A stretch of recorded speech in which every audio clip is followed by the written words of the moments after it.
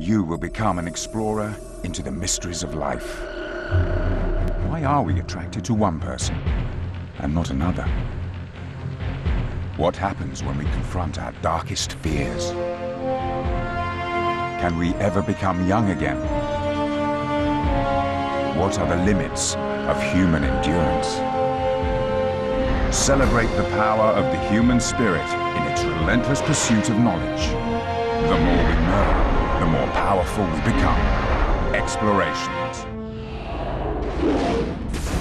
On Explorations, memory, how stress can be good for it and probably save this fire chief's life.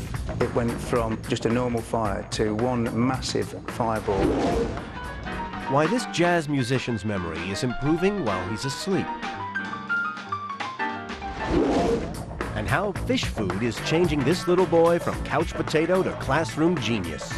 We have within ourselves the ability to boost memory. Who we are as human beings fundamentally is our collection of memories.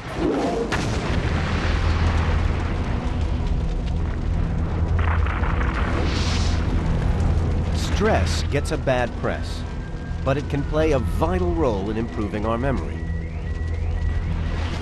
Scientists think stress enhanced firefighter Andy Kirk's memory, saving his life and the lives of his men. In October 2001, Kirk and his team were called to fight a fire in a bingo hall. It was a day like any other day. Everybody was all up for the fire call. We were all on the way to the call. Much of the building was ablaze, but Andy decided it was safe enough to send his crew inside. After five minutes, they felt the fire was under control. We seem to be getting somewhere. We seem to be knocking, knocking the, uh, the fire down slightly. Then, for no apparent reason, Andy had a strange feeling.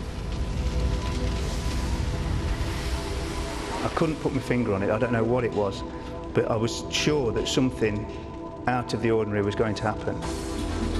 I suddenly thought, it's time I've got to get the lads out. They were saying that they're okay and they'll carry on. And I said, no, you've got to come out. That's when all hell broke loose. It went from just a normal fire to one massive fireball which were chasing us out of the door. A massive explosion brought down the roof and the walls. It was just total chaos, really. I remember calling to them, really screaming to them, were they there, were calling their names out. Sure if Andy hadn't pulled us out of the building at that time, then we would have been killed. Fire investigators later realized that Andy had saved his men from the most dangerous phenomenon in firefighting, a backdraft. Backdrafts are incredibly rare. So how did Andy foresee the danger?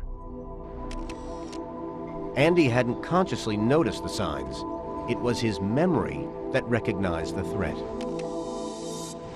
Part of Andy's brain was automatically scanning the world around him, comparing the fire in the bingo hall with every fire he'd seen before. Memories that were seared into his mind by his stress hormones. The smoke was very orange, unlike most fires, and air was rushing into the building rather than out. Crucially, there was no sound. Normally, a fire crackles as it burns oxygen. Andy's memory seems to have sent him a red alert, an intuition that saved the lives of his men. And new research shows the stress that boosted Andy's memory can help all of us make our memories stronger.